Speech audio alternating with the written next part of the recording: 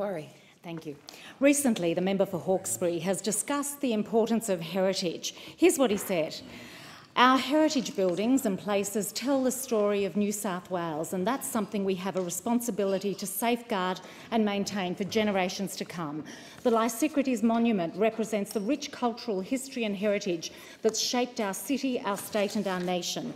There is also vital work to be done maintaining and preserving heritage assets like the Pyrmont Bridge. Great, I thought.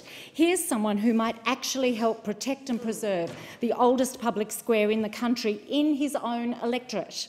But no, he's happy to wax lyrical about heritage in the New South Wales Parliament and invest millions in the CBD, but not one mention of Thompson Square on his Facebook page or in a media release. Instead, he claims as an achievement the planned construction of a replacement Windsor Bridge, which will run through Thompson Square and will irrevocably change it, wrecking its Georgian integrity.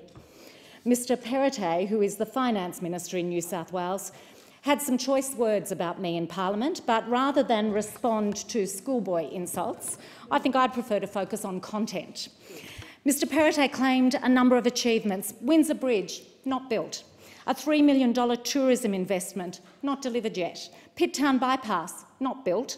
A new hospital at Rouse Hill, not in his electorate. I know he gets confused. He doesn't live in the Hawkesbury, uh, but it isn't built. Now, what